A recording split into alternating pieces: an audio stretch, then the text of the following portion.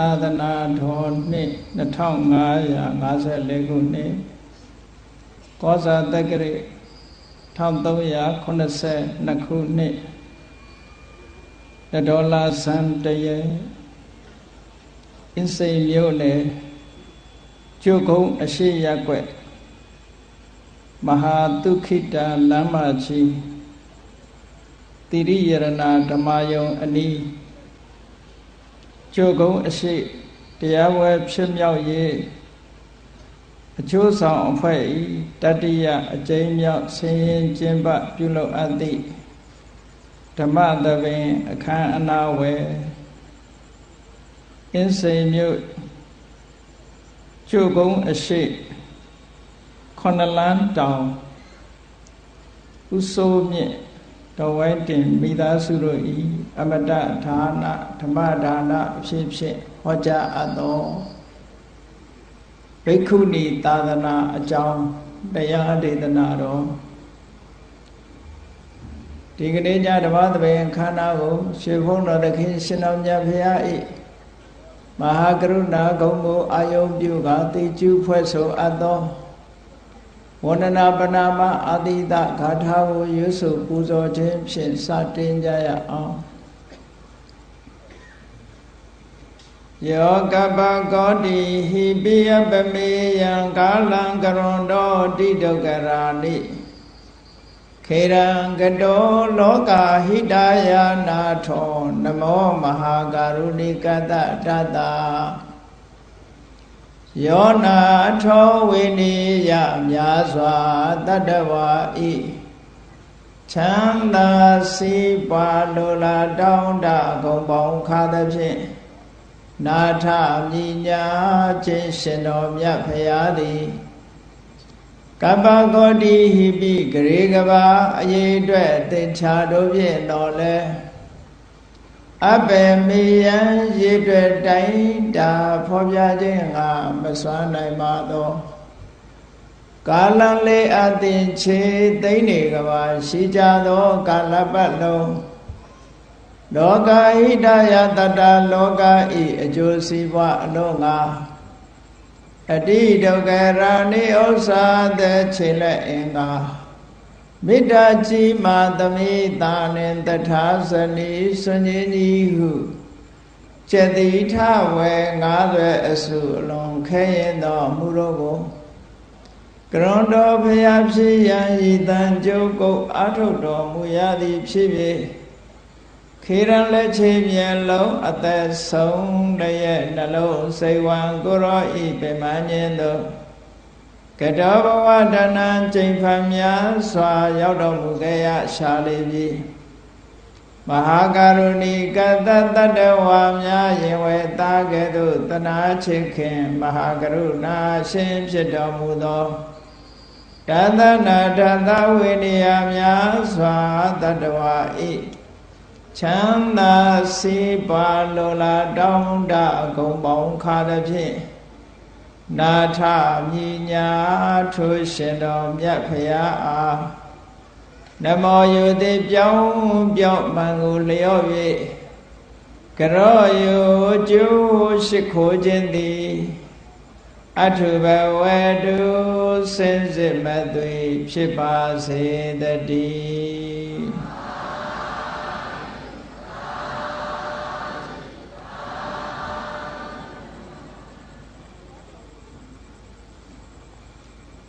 ဘိက္ခုနီသာသနာဘုရားမြတ်စွာရဲ့ပရိသတ်ဟာ၄မျိုးရှိတယ်ဘိက္ခုပရိသတ်ဘိက္ခုနီပရိသတ်ဥပတကပရိသတ်ဥပတိကာမပရိသတ်လို့ဖရာတိုင်းဖရာတိုင်းဟာဒီပရိသတ်၄မျိုးရှိတယ်ပေါ့ ဖျားပွင့်လာပြီဆိုလို့ရှိရင်ရှေးဥစွာဥပဒကပရိသတ်ဆိုတာပေါ်လာတယ်ဥပတိကမ္မပရိသတ်ဆိုတာလည်းပေါ်လာတယ်အစဆုံးပေါ်လာတာကတော့ဥပဒကပရိသတ်ပဲကောရမဘုရားလက်ထက်တော်အခါကာလတုန်းမှာထမဆုံးတရဏဂုံစောက်တည်တဲ့ပုဂ္ဂိုလ်တွေကတပုတ်တနဲ့ဗန္ဓိကလို့ဆိုတဲ့ဂုံတယ်ညီနောင်ပဲ သူတို့နှစ်ဦးကဘုရားမြတ်စွာရဲ့ဥပဒကတတိဒါယကအဖြစ်ခံယူကြတယ်အဲ့ဒီခံယူတဲ့အချိန်မှာဖယားနဲ့တရားနှမျိုးပဲရှိသေးတယ်တန်ခါဆိုတာမပေါ်သေးဘူးဒါကြောင့်မို့လို့တရဏဂုံ၃ပါးမဟုတ်ဘူးအဲ့ဒီအချိန်မှာတရဏဂုံ၂ပါးပဲရှိသေးတယ်ဗုဒ္ဓံတရဏံဂစ္ဆာမိနဲ့ဓမ္မံတရဏံဂစ္ဆာတန်ခါဆိုတာမပေါ်သေးလို့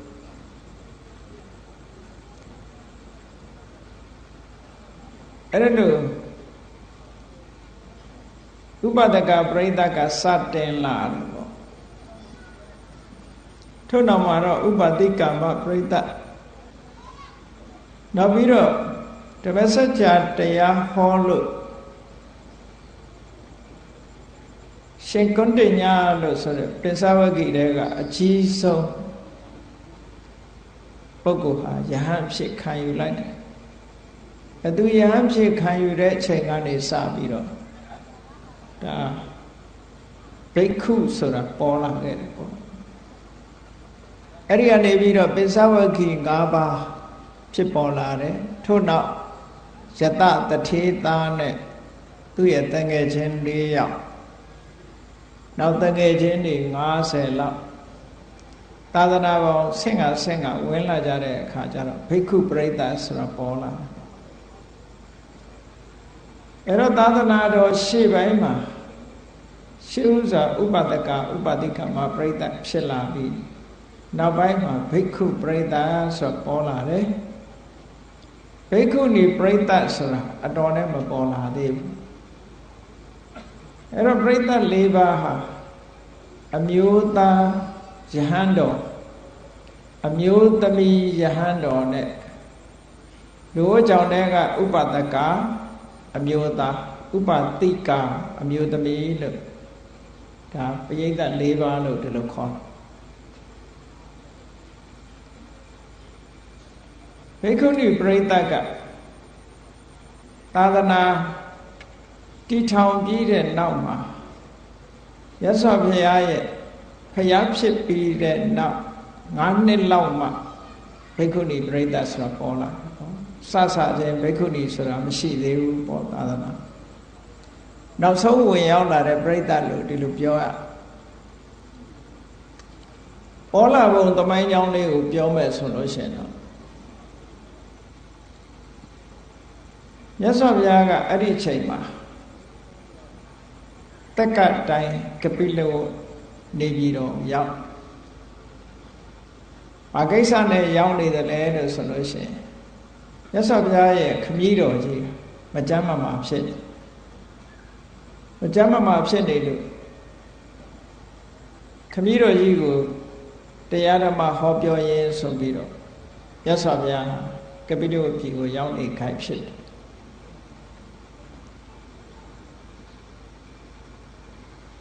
တတော်ကြီးရင်မြည်ဖြစ်တဲ့ခမည်းတော်ကြီးဟာဘုရားမြတ်စွာနဲ့စတွေ့စဉ်အချိန်မှာ ပထမဆုံးတရားနာလို့သောတာပန်ဖြစ်တဂရဂံဖြစ်နောက်အနာဂံဖြစ်ပြီးတော့အခုအချိန်မှာလူအကြောင်းနဲ့ပဲယဟန္တာဖြစ်သွား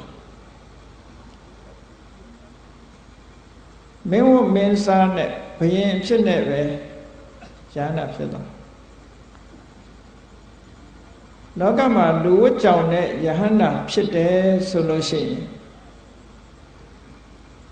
လူရဲ့အသွင်တရံနဲ့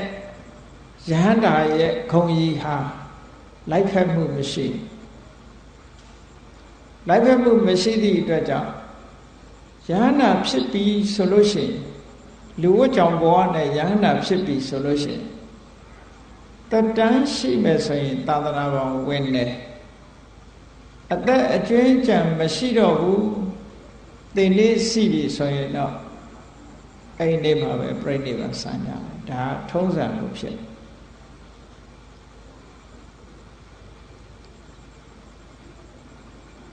မိလိန်နာပညာတို့အထကထာတို့မှာဆိုရင်လူရဲ့အသင်္တရံကရုပ်တိတ်နေသည့်အတွက်ကြောင့်ရတ္တဖို့ဂုံကိုမဆောင်နိုင်သည့်အတွက်လူဝကြောင့်များဟာယဟန္တာဖြစ်ရင် ယဟန္တာဖြစ်တဲ့နေ့မှာပြိဋိဘံဆိုင်ရင်ဆံမဆိုင်ရင်ယဟန်ပြုရမယ်လို့ဒီလိုဆိုထားတယ်အဲ့တော့အဲ့ဒီအချက်နှစ်ချက်ကိုလိုက်လျောညီတွေဖြစ်အောင်ညှိပြီးယူမယ်ဆိုလို့ရှိရင်ဟုတ်တယ်ယန္တာဖြစ်တဲ့နေ့မှာတက်တန်းရှိနေသေးတယ်ဆိုလို့ရှိရင်တော့ယဟန်ဝမှာပဲ တက်တန်းကုန်နေပြီဆိုရင်တော့အဲ့ဒီနေ့မှာပဲပြိဋိဘံဆံမယ်ခမည်းတော်တုတ်တော်ရဏမင်းကြီးကတတန်းစိတ်နေပြီဖြစ်သည့်အတွက်ကြောင့်အဲ့ဒီနေ့မှာပဲပြိဋိဘံဆံတယ်ရာဇပလင်ထိပြုအောက်မှာပဲပြိဋိဘံဆံတယ်တဲ့ခမည်းတော်ကြီးပြိဋိဘံဆံသွားမြတ်စွာဘုရားကကပိလဝနေကြောင်းရံကျောင်းမှာတရင်သုံးနေတယ် စဉ်းစားကြည့်ပေါ့ခမည်းတော်သုတ်တော်ရဏမင်းကြီးမှာ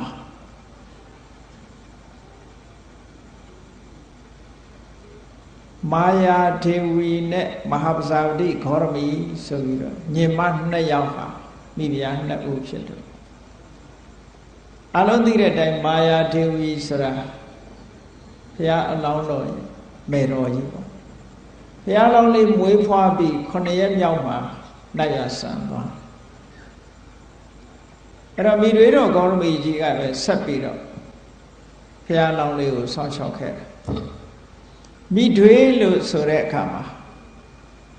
အတိပ္ပယ်နှမျိုးရတယ်ပေါ့သို့တော့စာပေအလောပြောင်းမယ်ဆိုရင်ဒီမိတွေဆိုတာအဖေရဲ့နောက်ရောက်နောက်မိန်းမကိုခေါ်တာ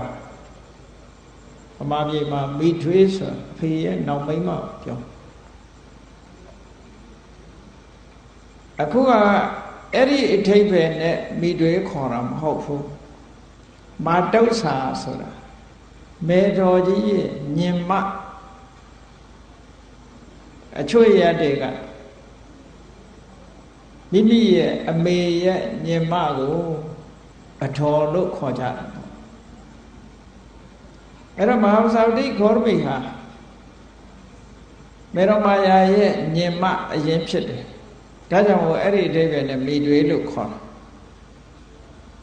အခုဗမာပြည်မှာပြောနေတဲ့မိထွေးတို့ပထွေးတို့ဒီလိုဟာမျိုးဆိုလိုတာမဟုတ်ဘူးလို့တနုမှဘာလို့လဲဆိုတော့မာတုဆာဆိုတဲ့စကားလုံးကအမိရဲ့အမညင်မကိုမာတုဆာလို့ခေါ်တာအဲကောင်းပြီတောတရဏမင်းတရားကြီးပြိဋိဘံဆံသွားတဲ့အခါကျ အလုံးစဉ်းစားကြည့်ပေါ့အဖိုးကြီးဖွားကြီးလို့ပြောရမှာမိရိတော်ကောရမိကလည်းအသက်ကြီးပြီအသက်ကြီးတော့မင်းတရားကြီးမရှိတော့ဘူးဆိုလို့ရှိရင်သူလည်းလူလွတ်လို့ဖြစ်သွားမိမိတူအရင်လည်းဖြစ်အမတန်မှသာသမီလူမွေးစားထားရတဲ့သားလည်းဖြစ်တဲ့ မြတ်စွာဘုရားကိုအားကိုးတာပေါ့ဒါကတော့တဘာဝပဲပေါ့လူလောကဘုရားကိုအားကိုးတယ်ဘယ်လောက်ထိအောင်အားကိုးတော့ဆိုရင်မိရေတော်ဂေါရမိကနန်းတော်မှာနေတော့ကဆိုရင်သူ့သားအရင်သမီးအရင်ရှိတယ်နန္ဒမင်းသားနဲ့ဇနဗရကလျာဏီဝိညာဉ်နာမည်ကရူပနန္ဒာ စနဗရကလျာဏီလို့ခေါ်တဲ့ရူပနန္ဒာမောင်နှမနှစ်ယောက်သားနဲ့သမီးဟာအရင်အဲ့တော့သားအရင်ကိုအထိတ်နေစီအပ်ထားပြီးတော့ဖះလောင်းလေးကိုနှုတ်ကြတိုက်ချွေးပြီးတော့မွေးခဲ့တာသူက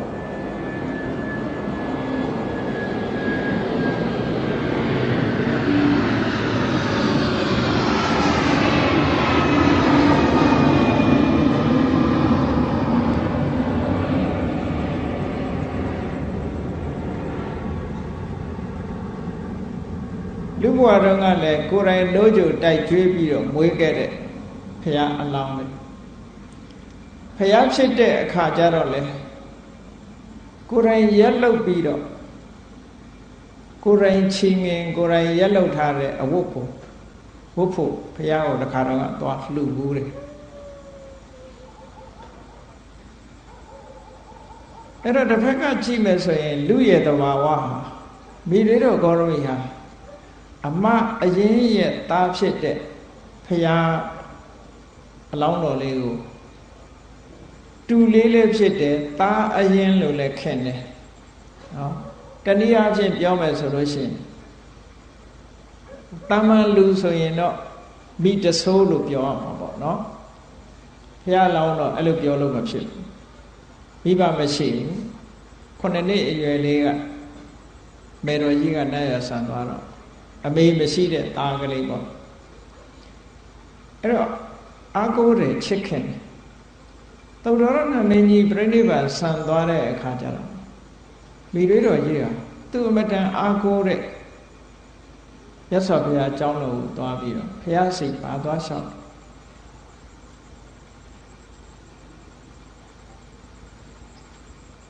အမျိုးသမီးတွေသာသနာဝင်ခွင့်ပြုဖို့ ဘိက္ခုနီလောက်ခွင့်ဆိုပြီးတော့သွားလျှောက်တာသူစလျှောက်တာအဲ့ဒါလို့အာကိုတကြီးသွားလျှောက်တဲ့အခါမြတ်စွာဘုရားကသဘောတူပြီးတော့ခွင့်ပြုလိုက်သလားလို့ဆိုခွင့်မပြုဘူးခါခါတီးတီးညင်းလိုက်တယ်မလုပ်ချင်ပါနဲ့သာသနာ့ဘာမှာအမျိုးသမီးတွေမဝင်ញင်ပါနဲ့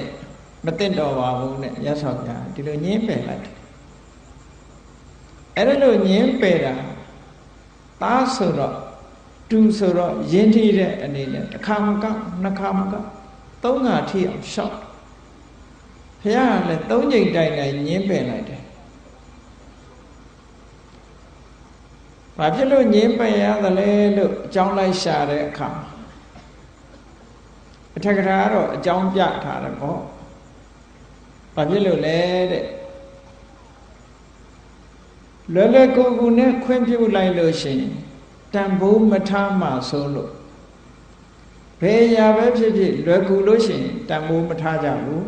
ဒါကြောင့်မို့တန်ဖိုးထားပြီးတော့အလေးနဲ့ရှိစေလို့လို့မြတ်စွာဘုရားခွင့်မပြုတာတဲ့ဒီအကြောင်းလည်းဟုတ်နိုင်တာပဲနောက်တစ်ခုကတော့တခြားဖရာတွေမှာဘိက္ခုဘိက္ခုနီဥပဒကဥပတိကမလို့ပရိသတ်၄မျိုးရှိတယ် ဖရာတိုင်းဖရာတိုင်းဟာပရိသတ်၄မျိုးရှိတယ်အခုပရိသတ်၃မျိုးပဲရှိသေးတယ်ဘိက္ခုရဲ့ဥပဒကရဲ့ဥပတိကဘိက္ခုနီပရိသတ်ဆိုတာဧကန်ရှိကိုရှိရအဲ့လိုဧကန်ရှိရမှာဖြစ်ခဲ့တာနဲ့ဖရာကဘာလို့ခွင့်မပြုတာတော့နောက်အကြောင်းတစ်ချက်စဉ်းစားပြီးကြည့်မယ်ဆိုလို့ရှိရင်ကောရမမြတ်စွာဘုရားပွင့်တဲ့ခစ်ကိုလှမ်းပြီးတော့ကြည့် အဲ့ဒီခစ်ကအမျိုးသမီးတွေကိုနှိမ်တဲ့ခစ်ဖြစ်တယ်လူတွေရဲ့တက်တန်းဟာလည်းပဲအမတမတိုးတယ်တက်တန်းတရားဆိုတာအမတမတိုးကကုတန္တမြတ်စွာဘုရားပွင့်တာက4000တန်းမှာပွင့်တယ်ကောဏကမဏဘုရားပွင့်တာက3000တန်းမှာပွင့်တယ်ကသဗ္ဗဘုရားပွင့်တာက2000တန်းမှာပွင့်တယ် ဂေါရမဘုရားဆိုတာတော့အနှိမ့်ဆုံးအ ਨੇ ဆုံးတတန်အတူဆုံးဖြစ်တဲ့တရားတန်းမှာတော့ပွင့်လူတွေရဲ့စိတ်နေစိတ်ထားဆိုတာလေတရားတန်းဆိုတာအလွန်ဆိုးနေဒုစရိုက်အလုံးတွေကဖြစ်ပေါ်ပြီးဖြစ်တယ်လူလောကကြီးမှာအသက်900ထန်းလောက်ကစပြီးဒုစရိုက်တွေကုံအောင်ပေါ်လာခဲ့တာဒါ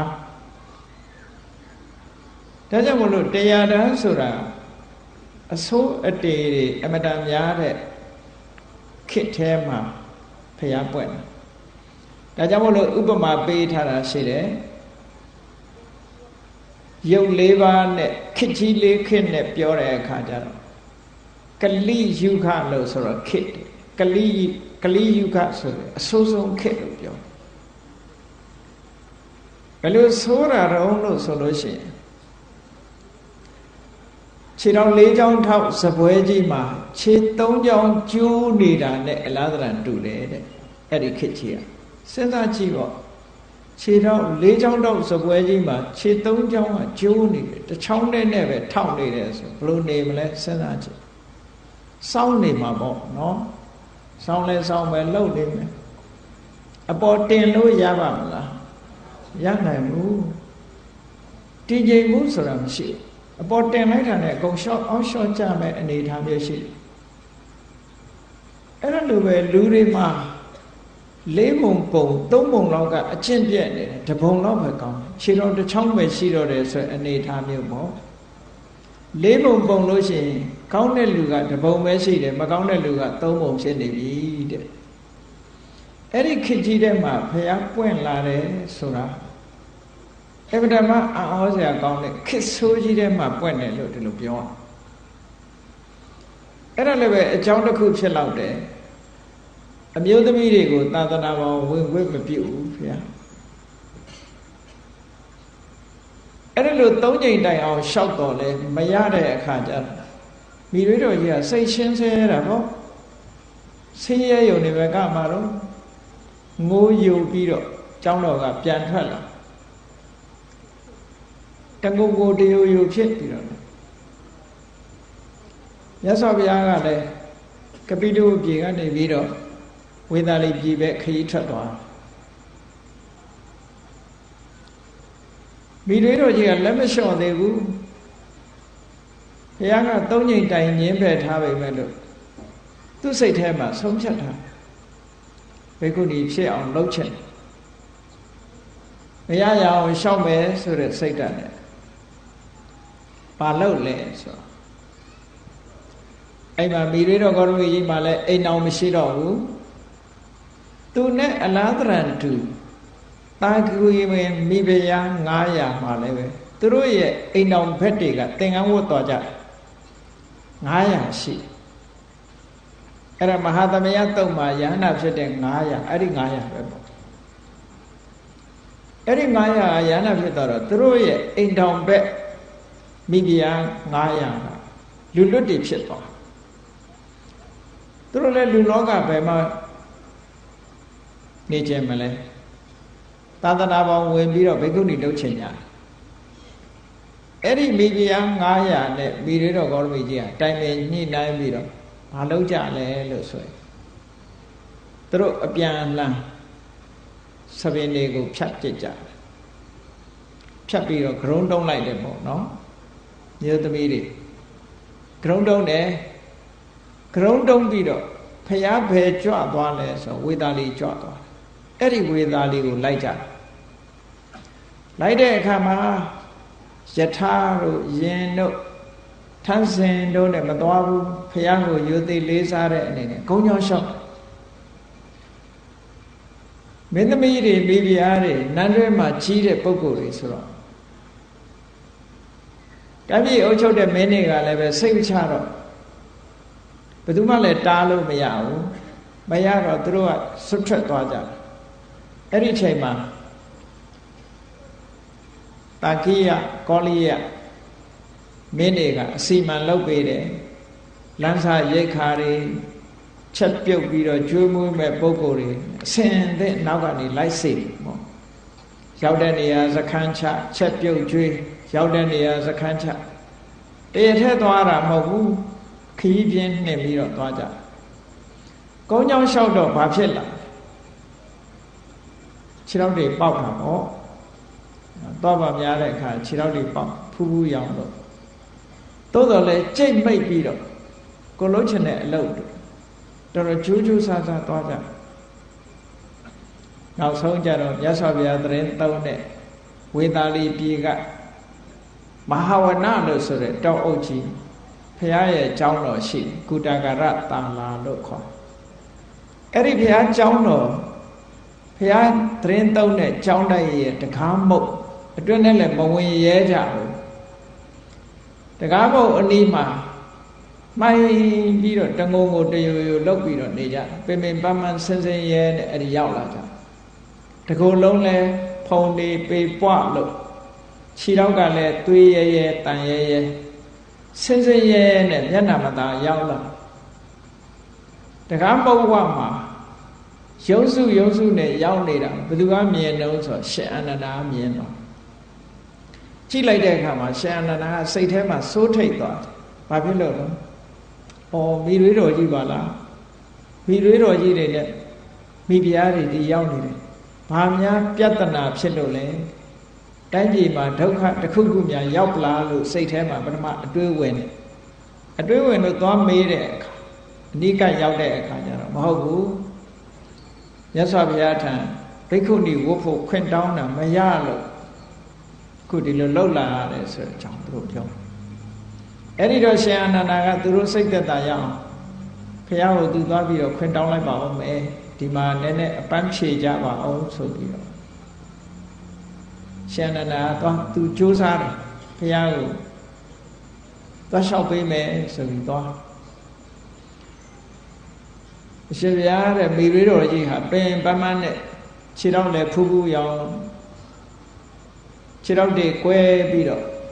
တာကဝင်မိဖုရား900နဲ့ချောင်းပေါဝရောက်နေကြတယ်အရှင်ဘုရား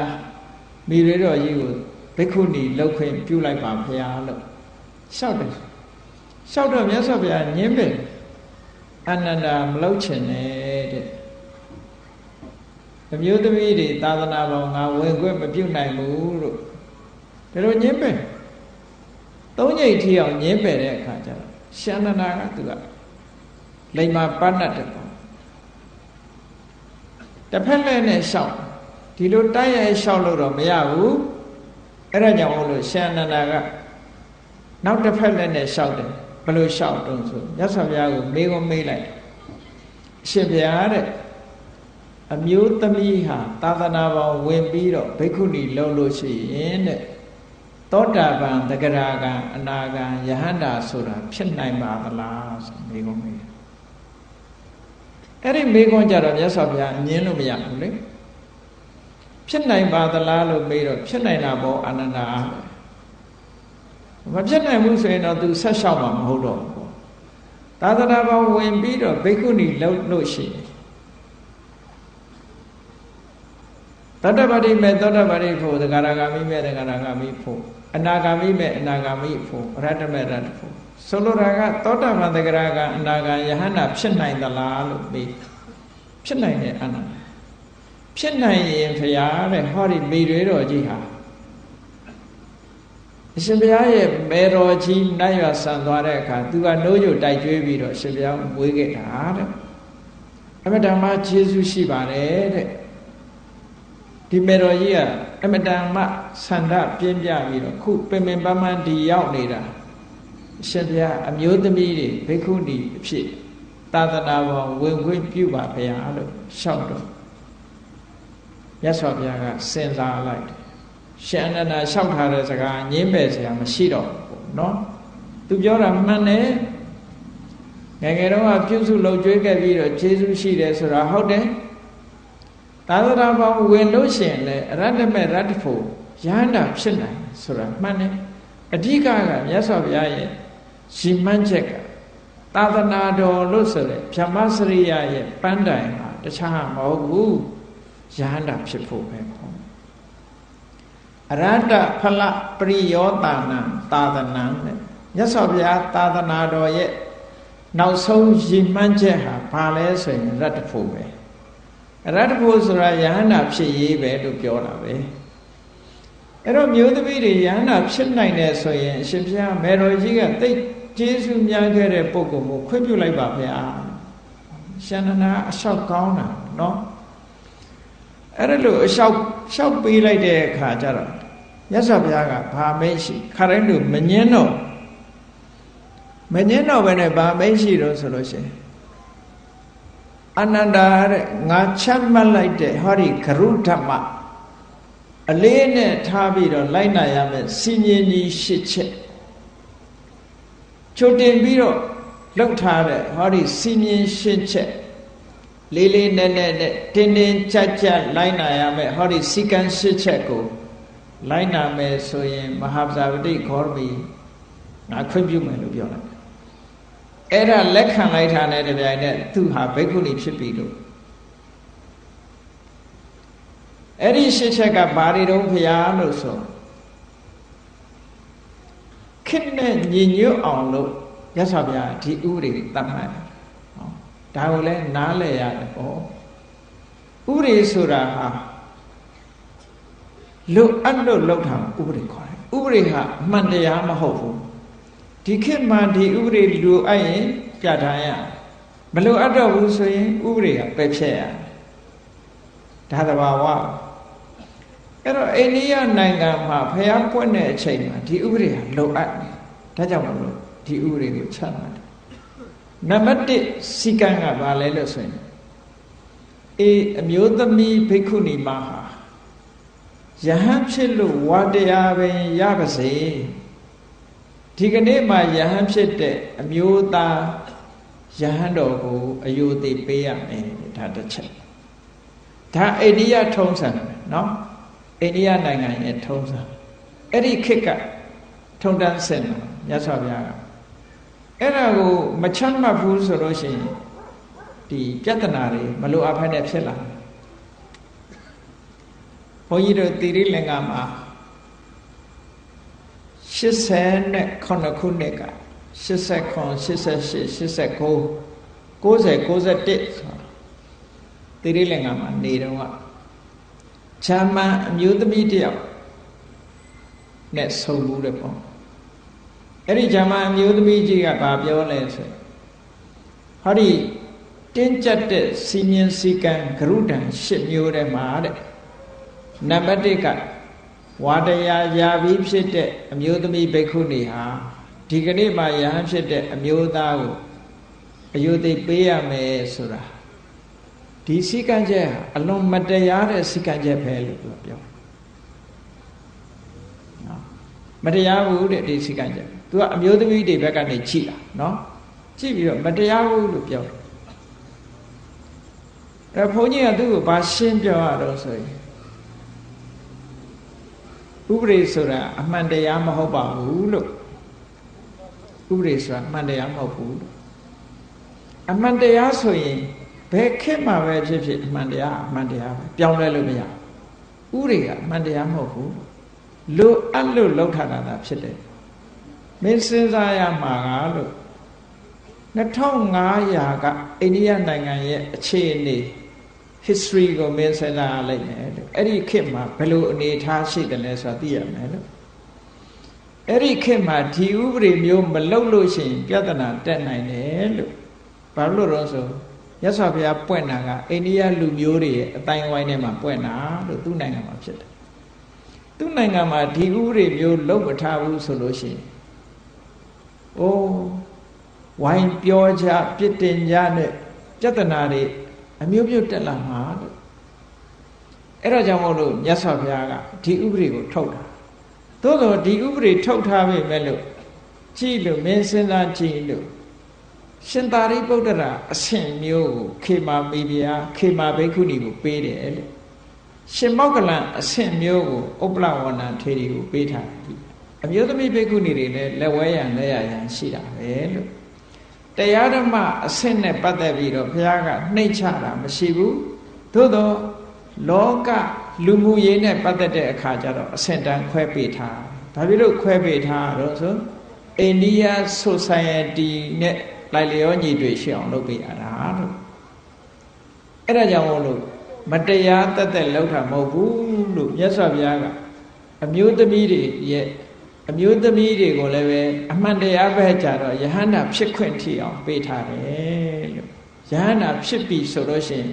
ဒါကအမျိုးသမီးဒါကအမျိုးသားလို့အမျိုးသားရဲ့အရတ္တဖို့နဲ့အမျိုးသမီးရဲ့အရတ္တဖို့ဟာမတူကွဲပြားတာဆိုတာမရှိဘူးလုံးဝတူတူပဲခွဲလို့ရတဲ့နေရာမှာခွဲတဲ့လို့ခွဲထားတာခွဲလို့မရတဲ့နေရာမှာခွဲเสียမလို့ဘူးလို့ မင်းတို့နိုင်ငံမှာဟစ်တလာလက်ထက်ကဥပဒေဒီကနေ့ခေတ်လုံးလို့ရလား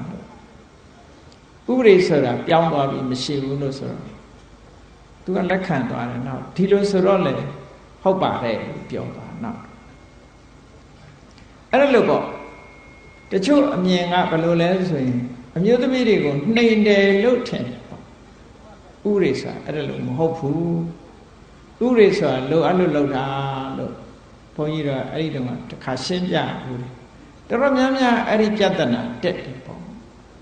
နော်တော်တော်များများအဲ့ဒီပြဿနာတက်တယ်ဒါကအမျိုးသမီးတွေဘိက္ခုနီလုပ်မယ်ဆိုရင်နံပါတ်1လိုက်နိုင်ရမယ်တမ္မဏိစီမင်းတစ်ခုပဲပေါ့ဒါကိုဂရုဓမ္မလို့ခေါ်တယ်နောက်တစ်ခုလိုက်နိုင်ရမှာဘာတော့ဆိုလို့ရှိရင်အမျိုးသမီးတွေဟာ ဝါတွင်းကာလမှာသတင်းသုံးနေထိုင်ပြီးဆိုလို့ရှိရင်အမျိုးသားယဟန်ဘုန်းကြီးကျောင်းမရှိတဲ့နေရာမရှိတဲ့အရက်မရှိတဲ့မြို့မရှိတဲ့ရွာမှာရသတင်းသုံးခွင့်မရှိဘူးဆိုလိုတာကအမျိုးသားယဟန်တော်တွေရဲ့ထမ္မတရားဓမ္မနာယူဖို့အတွက်အမြဲတမ်းတွဲဖက်ထားတဲ့သဘောပေါ့ဘုန်းကြီးကျောင်းမရှိတဲ့နေရာမှာဘိက္ခုနီကျောင်းမလုပ်အောင်မနေရဘူးလို့ဆိုလို့ ဟွာတွင်ကဒီလိုတတ်မှတ်ပေးထားတစ်ဖက်တစ်လမ်းကနေပြီးတော့ပရိယပฏิပတ်ဆိုတဲ့အရေးချင်းတွေကိုအမျိုးသားယဟန်တော်တွေစီကတင်ယူအောင်ဘာဖြစ်လို့လဲဆို9နှစ်ဆိုတော့အမျိုးသားယဟန်တော်တွေဘက်ကတော်တော်ကိုပြည့်ပြည့်စုံစုံစာပေကျမ်းဂန်နဲ့ပတ်သက်ပြီးတော့တင်နိုင်ပို့ချနိုင်ရှိနေပြီလေဒီကနေ့ခေတ်မှာလည်းပဲကြည့်လိုက်မယ်ဆိုလို့ရှိရင်သီလရှင်အကြောင်းတွေဟာဘုန်းကြီးတွေကိုအားကိုးနေရတော့မယ်လေတပါစရိယ စာကြရန်တို့သင်မယ်ဆိုရင်ဘုန်းကြီးကြောင့်သွားစာလိုက်ရတာလို့နော်အမျိုးသားတွေနဲ့တွဲဖက်ပြီးတော့ပရိယပฏิပတ်ချွမ်းကျင်အောင်ကြိုးစားကြတာဒါဟုတ်ခေတ္တကဆိုရင်တော့ပို့ပြီးတော့လိုအပ်မှာပေါ့ဒါကြောင့်မို့မြတ်စွာဘုရားဒုတိယစီကံကပါတယ်အမျိုးသားဘုန်းကြီးကျောင်းမရှိတဲ့နေရာမှာဘိက္ခုနီမှာဝမ်းဆိုးရဘူးသူတို့ဤတတ်တတ်နေလို့မရဘူးလို့ဒီလိုပြောတာ ဒါလည်းစီကံချက်ပဲအဲ့ဒီစီကံချက်ကို အလေး၌တစ်သက်လုံးမပြည့်မကွက်မဖောက်မဖြတ်ဖဲနဲ့လိုက်နိုင်ရမယ်လို့လိုက်နိုင်ရမယ်ဟောနောက်တစ်ခုကဘာတော့ဆိုလို့ရှိရင်အမျိုးသားယဟန်တော်တွေစီကနေပြီးတော့မျောလင့်ရမယ်အချက်နှစ်ခုရှိတယ်။ဘာလဲလို့ဆိုရင် ဘယ်နေ့ဟာဥပုပ်နေ့ကြတယ်လဲဘာဥပုပ်လဲဒီကနေ့ဆိုတာသွားပြီးတော့ရှောက်ထားရမယ်ဒါတစ်ချက်။နောက်ဩဝါဒခံယူဖို့ခွင့်တောင်းရမယ်ဒါတစ်ချက်။ဒီနှစ်ခုကမပြတ်မကွက်လောက်ရမယ်လို့ပြောတာ။မပြတ်မကွက်လောက်ရ။ဒါလည်းပဲအမျိုးသမီးလောကနောက်မှဝင်လာတာဖြစ်သည့်အတွက်ကြောင့်ပညာရည်တွေမနှိမ့်ချအောင်လို့မြတ်စွာဘုရားဒီစီမြင့်စီကံကိုကြွတင်ဆွဲထားတဲ့သဘောပဲပေါ့ဟောနောက်ထပ်တစ်ခုကဘာလဲလို့ဆိုလို့ရှိရင်ဒီဝါတွင်းကဝါတွင်းကာလ3လသတင်း3ပြီးပြီဆိုတဲ့အခါမှာဝါကျွတ်ပြီဝါကျွတ်တဲ့အခါကျတော့ဟိုဟိုဒီဒီမိမိသွားလို့ရအရက်တွေကိုလွတ်လပ်စွာသွားတဲ့အခါမှာမသွားခင်ဘာလို့อ่ะပဝရဏဆိုတဲ့ဖိတ်မှန်ပัญจမှုလောက်อ่ะ ဒီကနေ့ခေတ်ဟောတရင်ကျော်ဆိုရင်ပဝရဏဘွဲဆိုတာကြားဖို့ရလိမ့်မယ်ပေါ့အဲ့တော့ဘိက္ခုနီတွေဟာယဟန်တန်ဃာတွေရှိတခါပဝရဏပြုရမယ်ပဝရဏဆိုတာဖိတ်ခေါ်ခြင်းဖိတ်ကြားခြင်းပဲအမှန်တမ်းကောင်းတဲ့အစဉ်လာတစ်ခုပဲပဝရဏရဲ့အတိတ်ပဲပဝရဏဆိုတာဖိတ်ကြားခြင်းဘာအတွက်ဖိတ်ကြားတာလဲလို့ဆိုလို့ရှိရင်သူက အရှင်ဘုရားကိုတပည့်တော်ဖိတ်ထားပါတယ်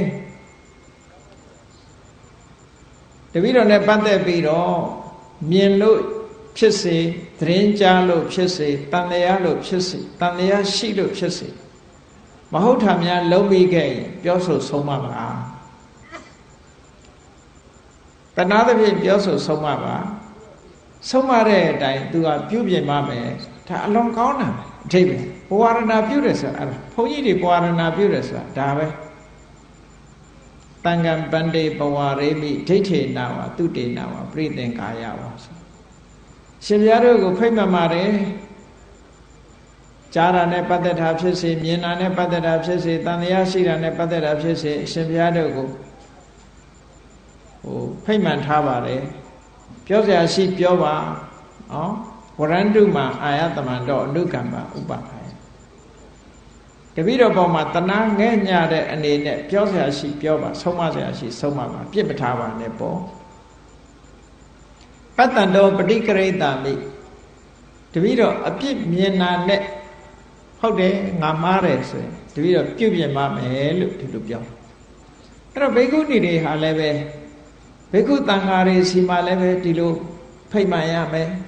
ဘိက္ခုနီအချင်းချင်းလည်းဖိတ်မှန်ရဒီစည်းကမ်းတစ်တလုံးလိုက်နာရ လုံးဝမဖောက်ဖျက်ရဘူးလို့ဒါနံပါတ်၄အနေနဲ့မြတ်စွာဘုရားချမှတ်ပေးဟောနံပါတ်5အနေနဲ့ချမှတ်ပေးတာဘာလို့ဆိုရင်ဘိက္ခုနီမတူဟာစီမင်းစည်းကမ်းအရေးကြီးတဲ့စီမင်းစည်းကမ်းတစ်ခုဖောက်ဖျက်ဂရုဓမ္မလို့ခေါ်တယ်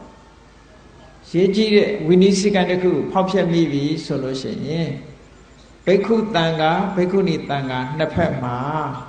15ရက်ဓာန်ထိုင်ရအလုံးကျင့်တတ်ပြုပြင်ပြီးတော့ကိုယ့်အကိုပြုပြင်ရမယ်လို့ဆိုလို့ပေါ့နော်ကျင့်တတ်အဲ့ဒါကိုစာပေလို့ပြောတော့မနတ်ကျင့်တယ်လို့ခေါ်တာမာနတဆိုတာကမျက်နှိုးအောင်ကျင့်တတ်အောင်တန်ခါဒီ society က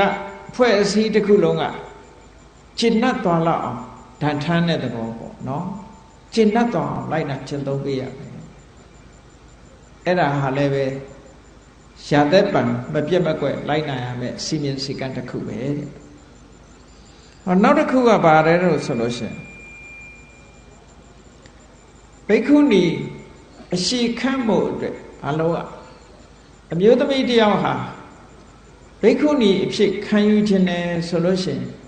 တိခါဘုတ်6မျိုး တိခါဘုတ်6မျိုးဆိုတာဘာလဲ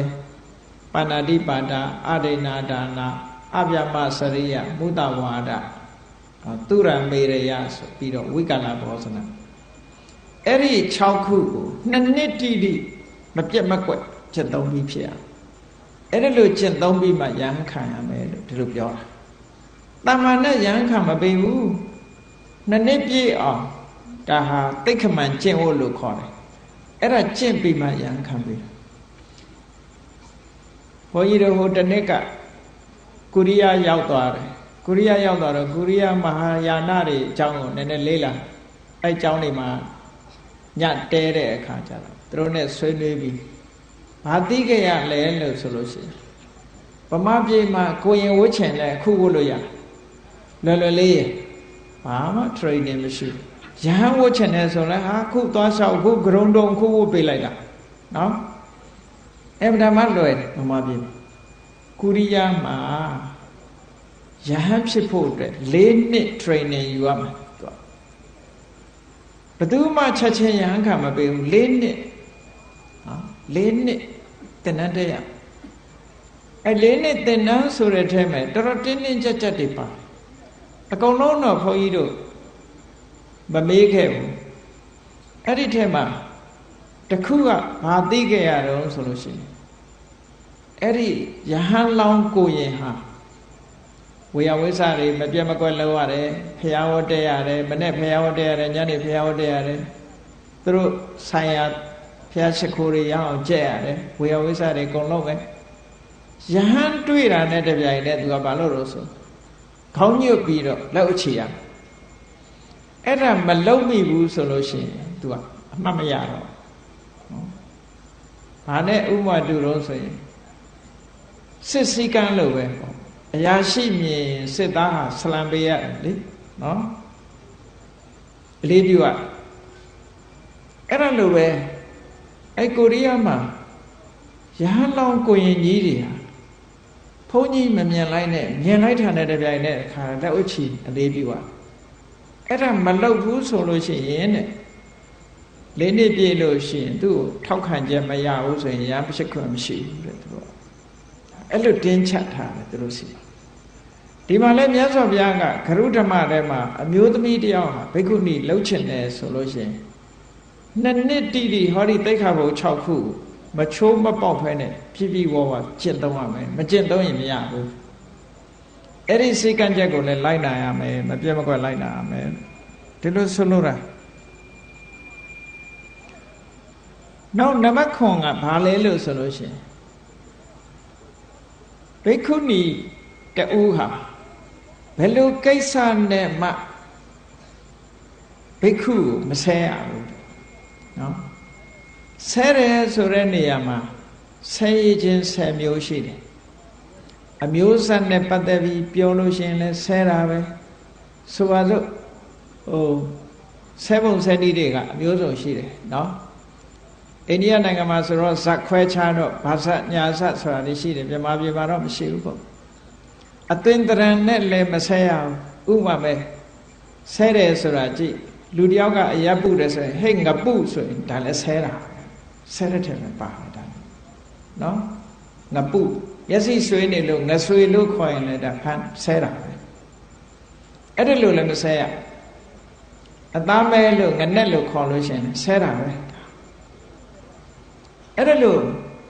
ပုံပန်းတရံနဲ့တကွဘလို့မှဆဲရးတာမျိုးမလုပ်ရဘူးတဲ့ဒါလည်းပဲရာသက်ပံလိုက်နာကျင့်သုံးရမယ်စီမင်းစိကံတစ်ခုလို့ဒီလိုဆိုမယ်လုံးဝမကျွလွန်ရဘူးတဲ့ နောက်ဆုံးတစ်ခုကဘာတုံးဆိုလို့ရှိရင်ဘိက္ခုနီမဟာဘယ်လိုနီးနဲ့မှဘိက္ခုတူကိုသွားပြီးတော့ဆုံးမဩဝါဒပေးခွင့်မရှိဘူးတဲ့ဘိက္ခုကသာဆုံးမဩဝါဒပေးခွင့်ရှိတယ်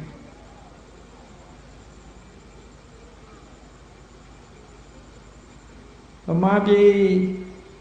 မဟုတ်ဘူးအိန္ဒိယနိုင်ငံမှာနော် အိန္ဒိယနိုင်ငံမှာဆိုတော့အိန္ဒိယအမျိုးသမီးတွေကရှာရှည်ပုံရဖြစ်နော်အလုံးဝပြောခွင့်မရှိဘူးလို့ဒီလိုပြညတ်ထားအဲ့ဒါဂရုရံရှစ်ချက်လို့ခေါ်တယ်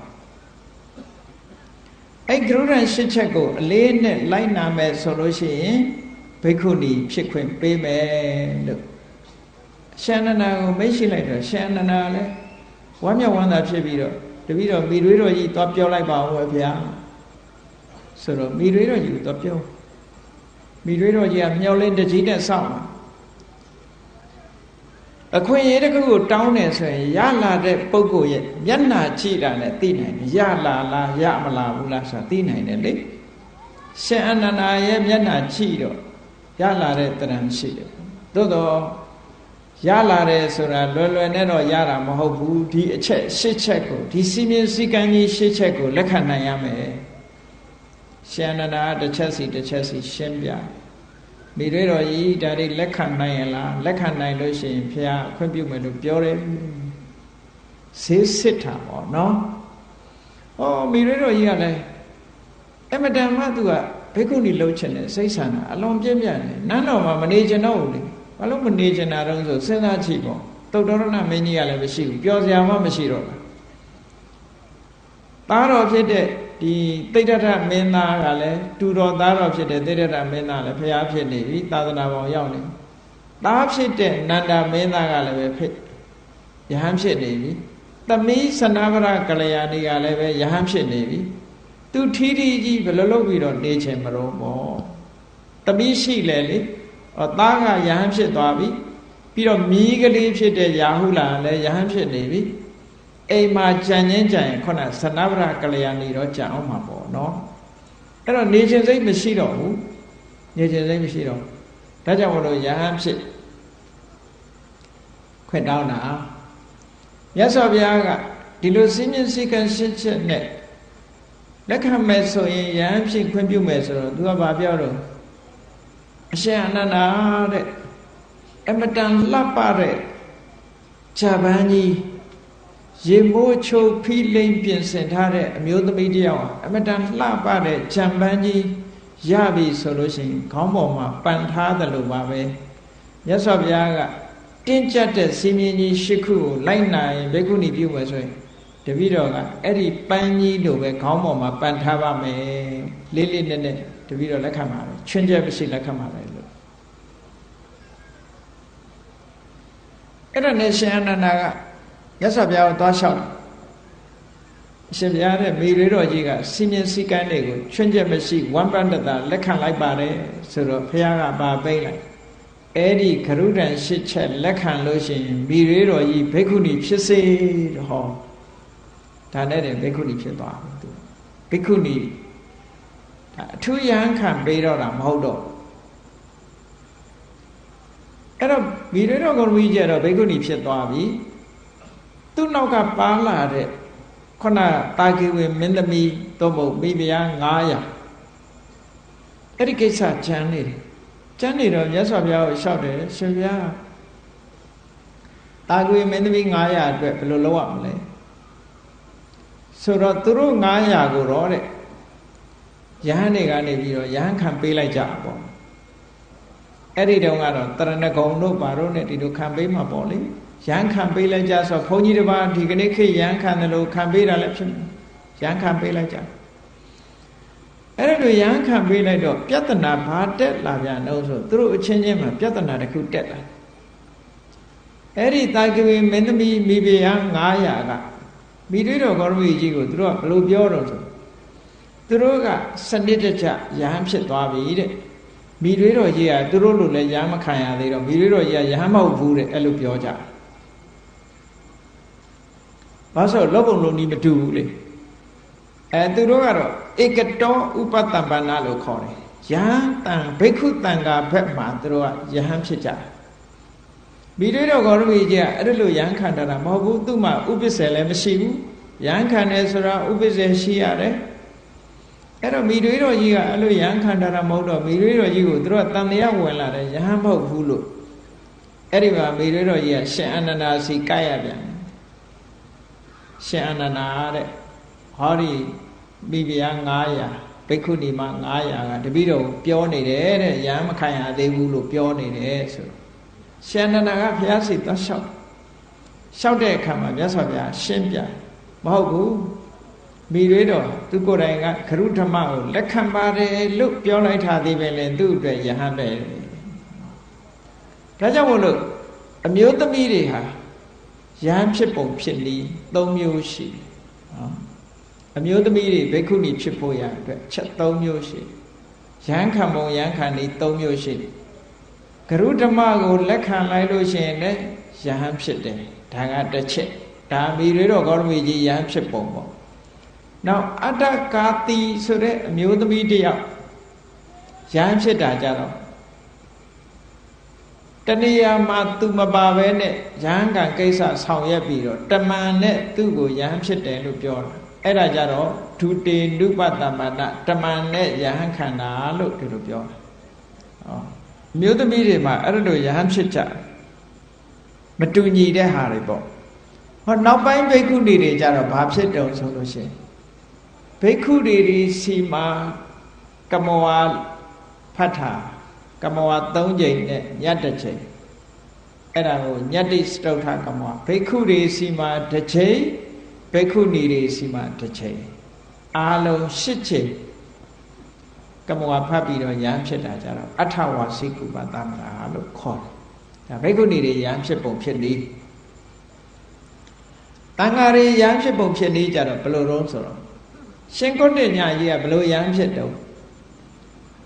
ရှင်ကုတ္တညယဟန်ဖြစ်ပုံကဒီကနေ့ယဟန်ခံတဲ့ပုံစံမဟုတ်ဘူးသူကနေပြီးတော့ဓမ္မစကြာတရားဟောတဲ့အခါဓမ္မစက္ခုဆိုတဲ့တရားမျက်စိကိုပိုင်လိုက်တာနဲ့တပြိုင်နက်ရှင်ဘုရားတဲ့တပည့်တော်သာသနာပေါင်းမှာရှင်ယဟန်အဖြစ်ရကြမှာလေဆိုတော့မြတ်စွာဘုရားကဘာလို့အေဟိဘိက္ခုတွခါတောဓမ္မောစရပြမစရိယံတမဒုက္ခတအတ္တခိရိယာယဆိုတဲ့ဒီစကားကိုမိတ်ကြားလိုက်အတိဘယ်က အေးလာခဲ့ဒါယံဖြစ်ခွင့်ပေးလိုက်တာပါယံဖြစ်ပြရစေဆိုတော့အေးလာခဲ့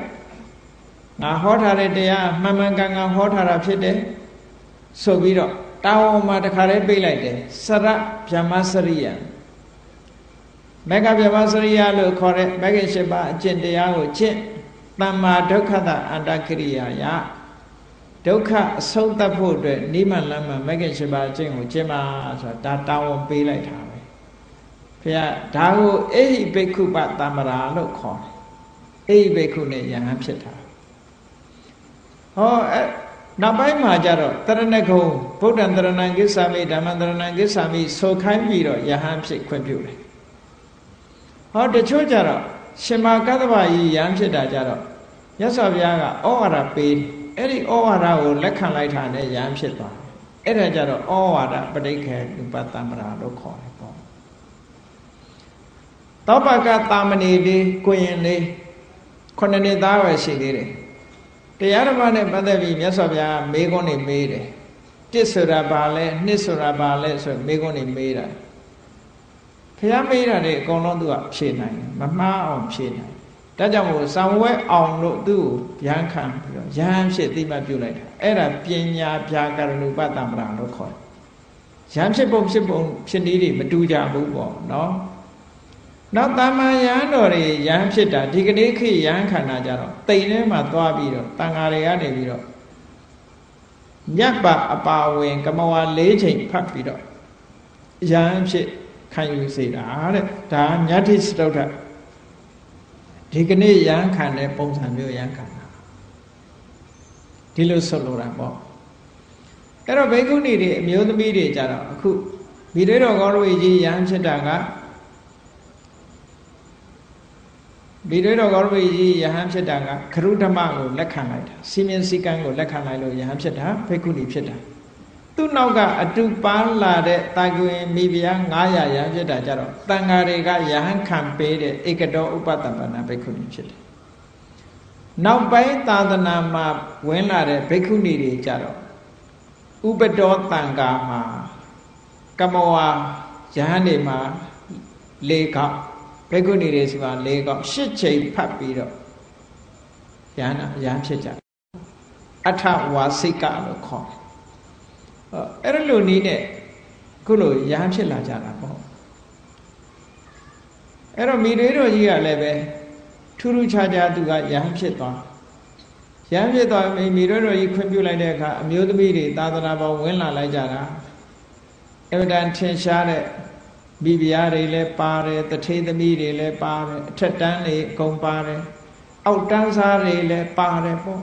ဇတ်မျိုးစုံကနေမျိုးသမီးတွေဝင်လာလိုက်ကြတာသာသနာပေါ်မှာအဲ့ဒီကနေစပြီးတော့ဘိက္ခုနီသာသနာဟာ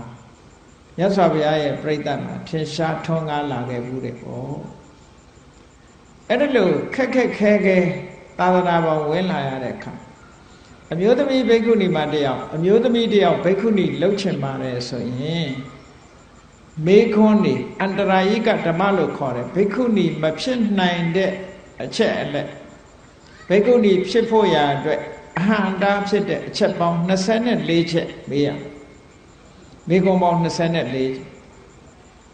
ဘိက္ခုတွေအတွက်ကြတော့73ချက်ပဲမေးတယ်နော်73ခုမေးအန္တရာယိကဓမ္မ13ခုမေးတယ်အ မျိုးသမီးတွေကြတော့24ခုရှိတယ်မေးတယ်အဲ့ဒီအမေးတွေတော့အသေးစိတ်ပြောတော့ပါဘူးအဲ့ဒါလို့မေးပြီးတော့အမျိုးသမီးဘိက္ခုနီတန်ခါမှာတခါယဟန်ခံရမယ်ယဟန်ခံပြီးတာနဲ့တပြိုင်နက်အမျိုးသားဘိက္ခုတွေစီမှာသွားပြီးယဟန်ခံရမယ်အမျိုးသားဘိက္ခုတွေယဟန်ခံပြီးပြီဆိုတော့မှဘာလို့ရတော့ဆိုရင်အချိန်ကိုမှတ်သားရတယ်ရက်စွဲကိုမှတ်သားရတယ်တိမ်ထဲကမထွက်ခင် မိယာယဟန်တွေကြတော့အမျိုးသားတွေကြတော့မိယာ၄ပါးလို့ခေါ်တယ်မိယာ၄ပါးဆိုတာဘုန်းကြီးဖြစ်လာလို့ရှိရင်အသက်ရှင်ယတ္တိဖို့အတွက်မလုပ်ရစားစရာရယ်နေစရာရယ်ဝတ်စရာရယ်မကြမ်းပါရယ်ဆေးဝါးရယ်အဲ့ဒါမိယာ၄ပါးလို့ခေါ်နော်အမျိုးသမီးတွေကြတော့မိယာ၄ပါးမဟုတ်ဘဲနဲ့မိယာကို၃ပါးတည်းပဲထွက်ထားတယ်။ဘာလဲလို့ဆိုရင် စားစရာရယ်ဝတ်စရာရယ်မကြမ်းမမာရင်ဆေးဝါးနေစရာဆိုတာအမျိုးသားအမျိုးသားတွေကြတော့ဒုက္ခမူလတစ်ပင်ရင်မှာနေရမယ်လို့ပြောတာအမျိုးသမီးတွေကြတော့တစ်ပင်ရင်မှာနေလို့အဆင်မပြေလို့အဲ့ဒါကိုထည့်မပြောတော့ဘူးပေါ့လုံလုံချုံချုံအိမ်နေလို့မှနေပေါ့ဒီလိုဆိုလိုတာပေါ့နော်အဲ့ဒါလို့ဘေကုဏီသာသနာဟာစနစ်တကျဒီလိုဖြစ်ပေါ်လာခဲ့ ဖြစ်ပေါ်လာတဲ့ဘေကုဏီသာသနာဟာမြတ်စွာဘုရားလက်ထက်မှာအမတန်မှထူးခြားထင်ရှားတဲ့ဘေကုဏီမတွေထက်မြက်တဲ့ဘေကုဏီမတွေမြောက်များစွာပေါ်ထွန်းခဲ့တယ်အမျိုးသမီးတွေရဲ့ဒီမိရှုတစောင်းအနေနဲ့ထွန်းကားခဲ့ကြတရားဓမ္မတွေနဲ့ပတ်သက်လာလို့ရှိရင်အလွန်ထက်မြက်ကြတယ်ပေါ့ဟိုတရားဓမ္မနဲ့ပတ်သက်တဲ့ဘေကုဏီမဝ စီရာဆိုတဲ့ဘေကုဏီမပြောခဲ့တဲ့ဒီစကားတစ်ခုအမှန်တမ်းအဆင့်မြင့်တဲ့တရားအဆင့်မြင့်တဲ့တရားတစ်ခုပဲသူသူကဘာပြောတာတော့ဆိုတတ္တဝါဆိုတာနဲ့ပတ်သက်ပြီးတော့သူကဥပမာနဲ့ရှင်းပြတယ်နော်အဲ့ဒီခေတ်ကတော့မြင်းလဲတို့နွားလဲတို့ကိုကြည့်ပြီးတော့မြင်းလဲနွားလဲဆိုတဲ့အခေါ်ဟာ ဘိန်းတို့လက်အိမ်တို့ဓဘိုးတို့အဲ့လိုအကုန်လုံးဓာတွေကိုစုပေါင်းပြီးတော့မှမြင်းလဲလို့ခေါ်တယ်နွားလဲလို့ခေါ်တယ်အဲ့ဒါလိုပဲတဲ့လူတွေရဲ့တဏ္ဍာမှာခန္ဓာ၅ပါးပေါင်းစပ်ထားလို့တတ္တဝါလို့ခေါ်ကြတာဆိုတဲ့ဒီအတွေးခေါ်တရားကို ရှုမြင်မှုတရားကိုအဲ့ဒီဝစီရဘေကုဏီမှာဟောကြားခဲ့တာအမတမခဏိထီအောင်ကိုးကားပြီးတော့ပြောနေကြတယ်နော် ယထာဟိအင်္ဂတံပါရာဟောတိတတ္တောရထောဣတိ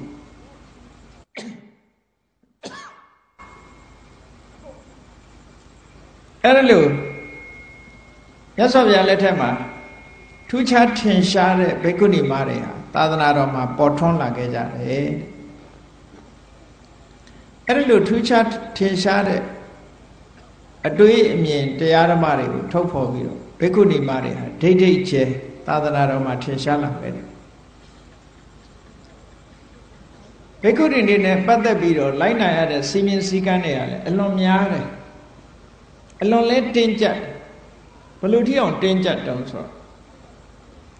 ဘိက္ခုနီမတယောက်ဟာသာသနာပေါင်းမပျော်လို့လူထွက်ရင်နောက်ထပ်ဝင်ခွင့်မရှိသာသနာပေါင်းပြောင်းဝင်လို့မရတော့ထွက်ရင်တခါတည်းထွက်ရတယ်ဝิญကြီးထွက်ချီလောက်ခွင့်မရှိဟောအမျိုးသားယဟန်နေကြတော့အဲ့လိုမဟုတ်ဘူး မပြောလို့ထွက်ပြီးပြန်ဝတ်ချင်ဝတ်လို့ရမြို့သမီးတွေကြတော့အဲ့လိုဝတ်ခွင့်မရှိဒါမတူညီတဲ့အချက်ကလေးတွေရှိတယ်ပေါ့နော်အဲ့တော့မြို့သမီးတွေကိုဘာဖြစ်လို့ဖခင်ကဒီလောက်တင်းတင်းကြပ်ကြပ်လှုပ်ထားတော့ခေအခြေအနေရပဲဒီလိုပဲပြောရမှာပဲပေါ့ခေအခြေအနေရလိုအပ်လို့လှုပ်ထားတာသို့တော့မြတ်စွာဘုရားကအမျိုးသမီးတွေကိုချီးမြှောက်ခဲ့တယ်ရှင်သာရိပုတ္တရာအဆင့်ချီးမြှောက်ခဲ့တယ်ရှင်မောကလန်အဆင့်ချီးမြှောက်ခဲ့တယ် တခြားဧတရက်ွယ်ရူးတွေနဲ့ထူးခြားထက်မြက်တဲ့ဘိက္ခုနီမတွေကိုချီးမြှောက်ခဲ့တယ်အဲ့ဒီဘက်မှာတော့လုံးဝဓမ္မရေးရနဲ့ပတ်သက်လာလို့ရှိရင်နှိမ့်ကြတာမရှိဓာတ်နုထားခဲ့တယ်ပေါ့သို့တော့လူမှုရေးဆိုတာနဲ့ပတ်သက်လာတဲ့အခါကျတော့အိန္ဒိယလူမျိုးတွေရဲ့ထိုခေတ်က society ရဲ့အနေအထားအတိုင်းမြတ်စွာဘုရားလိုက်တာကျင့်သုံးတယ်။ဘာဖြစ်လို့အဲ့လိုလိုက်တာကျင့်သုံးလဲဆိုရင်ဥရိဆိုတာ ပြဿနာမတက်အောင်လုပ်တာပဲပေါ့။အေးအဲ့လိုသာသနာပေါ်မှာထူးခြားထက်မြက်တဲ့အမျိုးသမီးတွေပေါ်လာပြီးနောက်ဆုံးအမျိုးသမီးသာသနာဟာအမတမကြီးထွားလာပြီးနောက်ဆုံးအမျိုးသမီးတွေဟာတရားဟောတဲ့နေရာမှာထင်ရှားကြော်ကြားတဲ့အမျိုးသမီးရှိတယ်တရားဓမ္မတွေကကြီးညိုကိုးကွယ်ကြတဲ့အမျိုးသမီးတွေရှိတယ် ပတ္တနေရီကောသလမင်းကြီးကိုယ်တိုင်ကကျောင်းတွေဆောက်ပြီးတော့ကိုးကွယ်ထားတာရှိတယ်နော်တရားဓမ္မတွေကလှူကြတယ်တန်းကြတယ်နဲ့ဒီလိုအမျိုးသမီးသာသနာဟာဘိက္ခုနီသာသနာဟာအလွန်ထင်ရှားခဲ့ပြီးတော့ဘယ်ထိအောင်ရောက်သွားတယ်လဲလို့ဆိုလို့ရှိရင်တီယိုကျွန်းကိုသာသနာရောက်သွားတဲ့အချိန် အဲ့ဒီလိုတီယိုကျွန်းကိုရင်ကိုဌာနတတိယသံဃာနာတင်ပြီးတဲ့နောက်သာသနာနှစ်200ကျော်နောက်ပိုင်းမှာကိုရင်ကိုဌာနသာသနာပြုလွတ်တယ်မြန်မာပြည်ကသူ့အနာភូမိဒီကနေ့ခေတ်တော့တထုံလို့ပြောကြတယ်ပေါ့အဲ့ဒီသုဏဘုံမေးကိုရှင်သောနာတို့ရှင်ဥဒ္ဒရတို့ဥဆောင်တဲ့ပုဂ္ဂိုလ်တွေလာပြီးသာသနာပြုတယ်အဲ့ဒီအချိန်မှာ တီဟိုချုံးကိုလည်းပဲရှင်မဟိန္ဒဥဆောင်တဲ့သာသနာပြုပုဂ္ဂိုလ်တွေကြွရောက်ပြီးသာသနာပြုတယ်အဲ့ဒီရှင်မဟိန္ဒရဲ့နှမတော်တန်ခမိတ်တာသင်္ကမိတ်တာမင်းသမီးကလည်းပဲနောက်ပိုင်းမှာလိုက်သွားပြီးတော့သာသနာပြုတယ်တီဟိုချုံးမှာလည်းဘိက္ခုနီသာသနာထွန်းကားခဲ့တယ်ပေါ့အဲ့တော့မြန်မာနိုင်ငံမှာလည်းပဲဘိက္ခုနီသာသနာထွန်းကားခဲ့ အဲ့တော့နှစ်ပေါင်းတစ်ထောင်လောက်ထိအောင်ထွန်းကားခဲ့တဲ့ဘိက္ခုနီသာသနာဒီကနေ့ခေတ်မှာကြတော့ဘိက္ခုနီသာသနာကွယ်ပတ်သွားခတ်စောစောကလေးကကွယ်ပတ်သွားမြတ်စွာဘုရားကဘဘိက္ခုနီတွေကိုခွင့်ပြုပြီးတဲ့အခါမှာရှင်အာနန္ဒာကိုပြောခဲ့တဲ့စကားလေးရှိသေးတယ်အမျိုးသမီးတွေကိုတဲ့သာသနာပေါင်း ဝင်ခွင့်မပြုဘူးဆိုလို့ရှိရင်တဲ့ငါသာသနာဟာအနှစ်တစ်ထောင်တည်မယ်တဲ့အမျိုးသမီးတွေကိုသာသနာပေါင်းဝင်ခွင့်ပြုလိုက်ရသည့်အတွက်ကြောင့်အနှစ်တစ်ထောင်တည်းက900ရော့သွားနိုင်တယ်လို့ဒီလိုဟောတယ်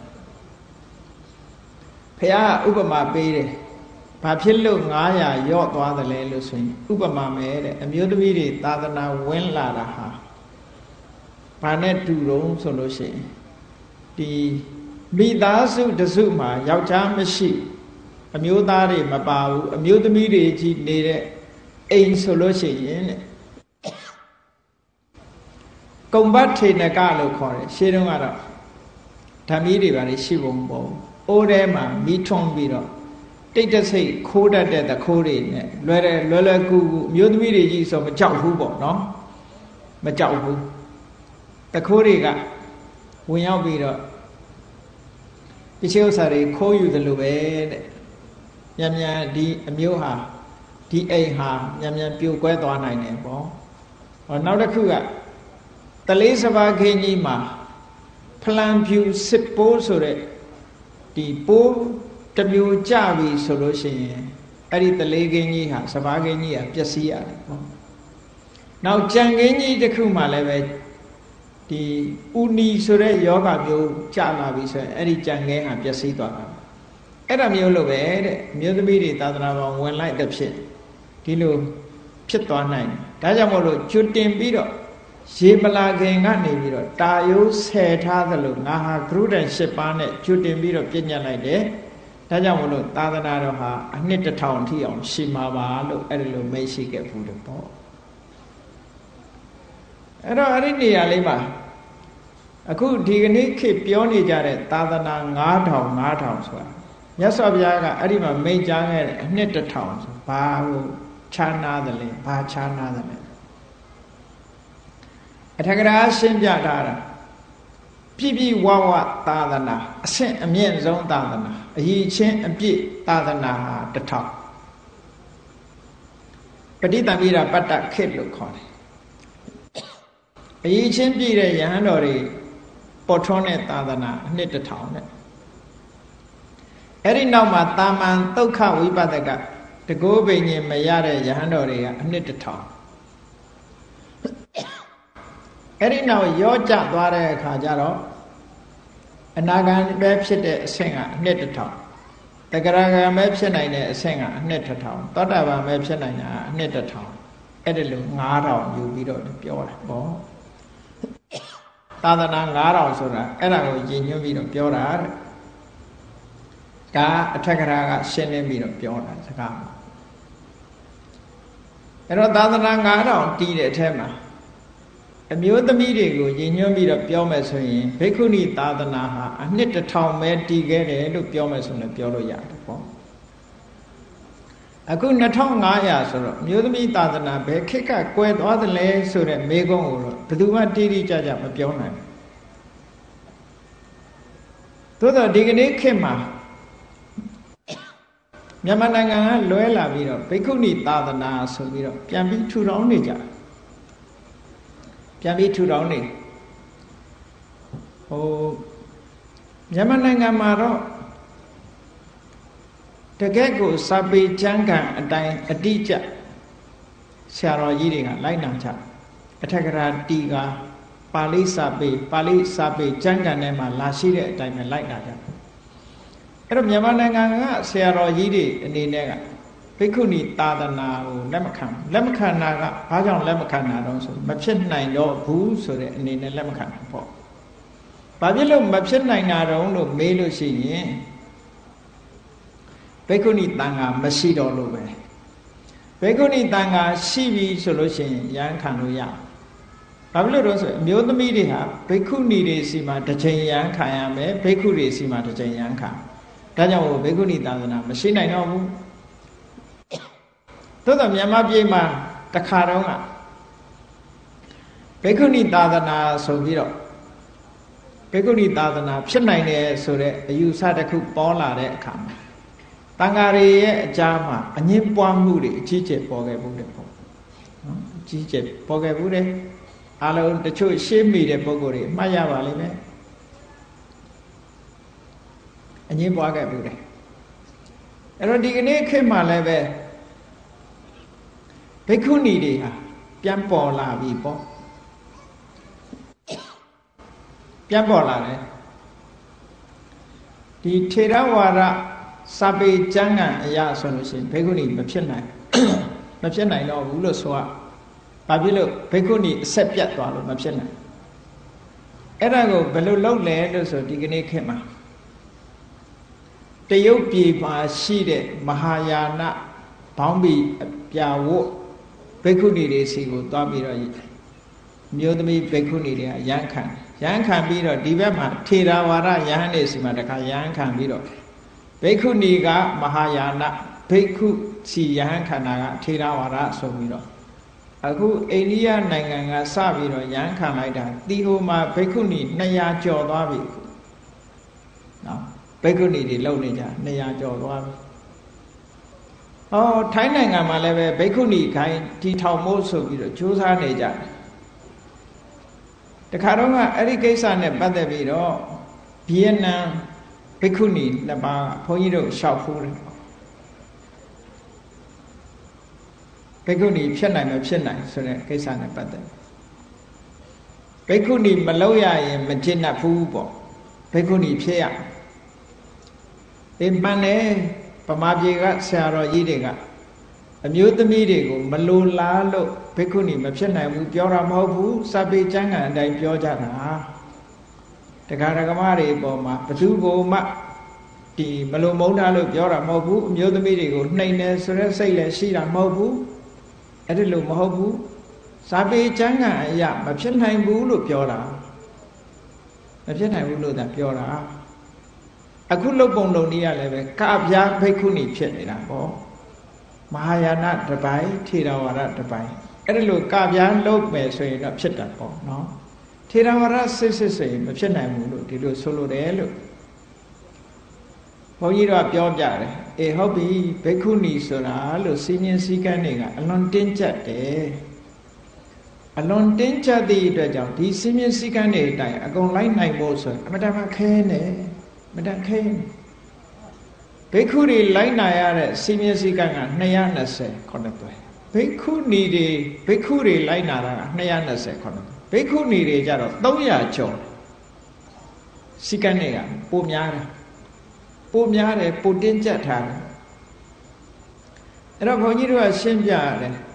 အေးအဝတ်အစားတို့အဆင့်တန်းတို့ဆိုတာအဓိကမဟုတ်ဘူးကိုချင်းတရားသာအဓိကကိုချင်းတရားသာအဓိကတို့နိုင်ငံမှာသာသနာ့နယ်ဝင်သီလရှင်ဆိုတဲ့အဆင့်လူတကာလေးစားလောက်တဲ့အနေအထားမျိုးရှိတယ်။နော် ၈ပါးသီလသို့မဟုတ်၁၀ပါးသီလမကြိုးမပေါက်အောင်ထိမ့်သိမ်းဆောက်ရှောက်ပြီးတော့စာပေပရိယတ်တိတွေသင်ကြားကြတယ်ကမ္မထန်တရားအထုတ်ကြတယ်။ဒါကအတော်ကျေနပ်စရာကောင်းတယ်လို့ဆိုပါစို့ဘိက္ခုနီလောက်ပြီးတဲ့နောက်မှာဘိက္ခုနီတွေလောက်ရမဲ့လုပ်ငန်းတွေစီမင်းစည်းကမ်းတွေအကုန်မလိုက်နာနိုင်ဘူးဆိုလို့ရှိရင်စည်းကမ်းတွေပြက်ပြီးတော့နေတဲ့ဘိက္ခုနီတန်ခါပဲဖြစ်မှာပေါ့ စည်းကမ်းဥပဒေအပြည့်အဝလိုက်နာနိုင်တဲ့ပုဂ္ဂိုလ်အမတန်မှရှားပါလိမ့်မယ်ဘာလို့လဲဆိုတော့တိတ်တင်းကြပ်ထားတဲ့စည်းကမ်းတွေကရှေ့ခက်ကရဟန်းတန်ခါတွေမှာသင်္ကန်း3တယ်ဘိက္ခုနီတွေမှာတွေကြတော့သင်္ကန်း9တယ်ရှိရ9တယ်ရှိရသင်္ကန်းသုံးတယ်အပြင်နောက်ထပ်မှာယင်လွမ်းသင်္ကန်းလို့ရေတနုတ်လို့မပါမဖြစ်သင်္ကန်းကားတယ်တင်းကျပ်မှုတွေကလည်းပဲအမတန်များတယ်ဒါကြောင့်မို့လို့ ဘိက္ခုနီသိက္ခာပုဒ်တွေလာတဲ့စီမင်းစည်းကမ်းတိုင်အတိအကျလိုက်နိုင်နိုင်ရလားမလိုက်နိုင်နိုင်ဘူးဆိုလို့ရှိရင်အာဘတ်တွေတန်းလန်းနဲ့ဖြစ်လိုက်မယ်ဖြစ်လာလို့ရှိရင်ဘိက္ခုနီလောက်ရချိုးမနှက်ဘူးလို့ဘိက္ခုနီလောက်ရချိုးမနှက်ဘူးလို့နောက်ဆုံးကိုသူတို့ပြောပြတယ်အဝတ်ကအဓိကမဟုတ်ပါဘူးကိုချက်တရားအဓိကပါတချို့အဲ့လိုမမြင်ဘူးဘယ်ခုနီလုတ်ကိုလုတ်ရမယ်မလုတ်ရင်ပဲဘာဖြစ်မလဲ ကိုချင်းတရားကိုသာတိုးမြင့်တဲ့နဲ့ပေါ့အဝတ်ကိုတိုးမြင့်စရာမလိုဘူးအဲချို့လည်းနားလဲသွားဗီယက်နမ်အမေရိကန်ကလာတဲ့ဗီယက်နမ်သီလရှင်တစ်ပါးဆိုရင်သူကသင်္ကန်းရောင်မှဝတ်ချင်တယ်မြန်မာသီလရှင်တွေကသင်္ကန်းရောင်ဝတ်တာမဟုတ်ဘူးမြန်မာသီလရှင်တွေမှာလည်းပဲအယောင်က3မျိုးလောက်ရှိနေတယ်နော်သို့တော့အများစုဝတ်တာကပန်းရောင်ဝတ်တယ်ပေါ့ အဲထေရဝါဒတက္ကသိုလ်မှာလည်းပဲတက်နေကြတာပန်းရောင်ဝတ်တဲ့သီလရှင်တွေများအဲ့ဒီမှာဗီယက်နမ်သီလရှင်တစ်ပါးတခါသူကအညိုပဲဝတ်ချင်တယ်ဘုန်းကြီးစီလာပြီးတော့အဲ့ဒီကိစ္စနဲ့ပတ်သက်ပြီးတော့ရှောင်းဘုန်းကြီးပြောပြတယ်သူမင်းအဝတ်ရဲ့အယောင်အသွေးကအဓိကမဟုတ်ဘူးလို့ လူဆိုတာလို့ပတ်ဝန်းကျင်နဲ့လိုက်လျောညီတွေနေရတတ်တယ်နေရတယ်လို့သူများတဲ့အယောင်ထူးပြီးတော့လောက်ထားကြတော့ straight ဖြစ်တာပေါ့လို့ကိုသူများလှုပ်တဲ့အတိုင်းဒီဟာမျိုးဆိုတာ society တခုထဲမှာလိုက်လျောညီတွေနေတာဟာအကောင်းဆုံးပဲပေါ့လို့ပြောလိုက်တော့သူအဲ့ဒီကလေးကပဲပန်းရောင်ဝေါ့နာအညိုမိုးတော့အဲ့ဒီလားရှာ ဗမာသီလရှင်နေတဲ့အတူနေတာဖြစ်တော့ဗမာသီလရှင်ပုံစံပဲဝတ်တယ်ငကိုတော့ကတော့သူ့ကြည့်လိုက်ရင်ဥစဉ်လားကိုရင်လားမှတ်နေရရောထွေးမှုအဲ့ဒီပြဿနာကလည်းသေးတာမဟုတ်ဘူးယမပြေမှာဖြစ်ထန်လေးတစ်ခုပြောပြအောင်ဘုန်းကြီးတစ်ပါးနော်မတိလရှင်တစ်ပါးကဘတ်စကားစီးပြီးတော့ထိုင်လာဘတ်စကားစီးပြီးတော့ထိုင်အဲ့ဒီနားမှာတခါတယောက်ကလည်းထိုင် အဲ့ဒီမေတိလရှင်တိလရှင်ကဝတ်လာတဲ့အဝတ်ကဘာလို့ဆိုသင်္ကန်းရောင်ကြီးဝတ်ထားတယ်အဲဘုန်းကြီးတစ်ပါးတက်လာတဲ့အခါကျတော့အဲ့ဒီမိတလရှင်နားမှာထိုင်နေတဲ့တခါကဟောဘုန်းကြီးမတရက်နေတာသူကမကြည့်ကြလို့နေရာပေးတာပေါ့လေအရှင်ဘုရားအရှင်ဘုရားဒီကြွပါဗျာဆိုတော့ထပေးတယ်အဲ့ဒီကိုတော့ကထိုင်မလို့လဲကုန်းကုန်းကွာကွာလေးလည်းဖြစ်လိုက်တော့ဟိုကတပည့်တော်တီလာရှင်ဖေဟာဆိုတော့ထိုင်ရအခက်ထားရအခက်ဒါတကယ် ကြုံခဲ့ဘူးတယ်ဆိုတာကိုပြန်ပြီးတော့ကြားဖို့တယ်ဘုန်းကြီးတို့တို့နော်တပည့်တော်တီလာပဲရှင်ပါဗျာဒါမှဝတ်ထားတဲ့အဝတ်ကဟိုတကာကြီးကလည်းပဲသူကတီလာရှင်လို့မထင်ဘူးဘုန်းကြီးထင်ပြီးတော့ပြောလိုက်တာရှင်ဘုရားဒီမှာနေရထိုင်ပါဖေဟာလို့ဆိုဟိုကထိုင်မလို့လို့တဲ့အခါကျတော့မှဟိုကတပည့်တော်တီလာရှင်ဖေဟာလို့ဆိုတော့ဟောထိုင်ရအခက်ထားရအခက်ဖြစ်သွားတာကြုံဘူးတယ်ဒါရန်ကုန်မှာဖြစ်ပျက်ခဲ့တဲ့ဖြစ်ပျက်တစ်ခုပဲ အေးဒါကြောင့်မလို့တကယ်ကတော့ဒီအဝတ်တို့ဒီ social အဆင့်တန်းလို့ဆိုတာအဓိကမကြအဓိကကြတာဘာလို့ဆိုကိုချင်းတရားအဓိကကြတယ်ပေါ့လူပဲဖြစ်ဖြစ်ဘုန်းကြီးပဲဖြစ်ဖြစ်သီလရှင်ပဲဖြစ်ဖြစ်ကိုချင်းတရားကောင်းမှုအဓိကကြပါတယ်ကိုချင်းတရားကောင်းလို့ရှိရင်ကိုချင်းတရားနဲ့ကြည့်ပြီးတော့အဆင့်ဆိုတာမြင့်တာပါပဲအဆင့်နှိမ့်နဲ့အဆင့်မြင့်နဲ့ဆိုတာမရှိပါဘူးအ ဆင့်မြင့်နဲ့အဆင့်နှိမ့်နဲ့ဆိုတာကိုချင်းတရားပေါ်မှာမူတည်တယ်လို့ဒီလိုအနှစ်သာရဘိုင်းကသာကိုယ့်ကိုမနှိမ့်အောင်လုပ်တဲ့တယ်လို့ဘုန်းကြီးတို့ကအဲ့လိုပြောပြအေးဒါကြောင့်မလို့တရားချစ်ခင်သူတော်စင်ပြိဿတ်တို့ဘိက္ခုနီသာသနာနဲ့ပတ်သက်ပြီးတော့ဘောဓုတ္တရှိဖို့ရတဲ့ဘုန်းကြီးတို့ဒီကနေ့အချင်းညုတ်ဟောကြားပြီးတော့ပြောပါတယ်မိတွေတော်ဂေါရမီကြီးက သူပြိဋိဘံသံဃာနည်းမှာမြတ်စွာဘုရားကိုလျှောက်တယ်အရှင်ဘုရားတဲ့အမျိုးသမီးတွေသာသနာဝင်ခွင့်တပည့်တော်အတင်းကြပ်တောင်းဆိုခဲ့မိတာကိုခွင့်တော့သိခံပါဗျာနောက်ဆုံးမှသူအဲ့ဒီစကားလျှောက်သွားတယ်နော်မျိုးသမီးတွေသာသနာပေါင်းဝင်ခွင့်ရအောင်တပည့်တော်အတင်းကြပ်တောင်းဆိုခဲ့တာကိုအရှင်ဘုရားခွင့်လွှတ်တော်မူပါတဲ့မြတ်စွာဘုရားကလည်းဘာအမိန့်ရှိတုံးဆိုလို့ရှိရင်အေးအမျိုးသမီးတွေဟာ တရားဓမ္မနဲ့ပတ်သက်ပြီးတော့တရားထုတရားမြတ်မရနိုင်ဘူးတကိုးပင်ញင်မရနိုင်ဘူးလို့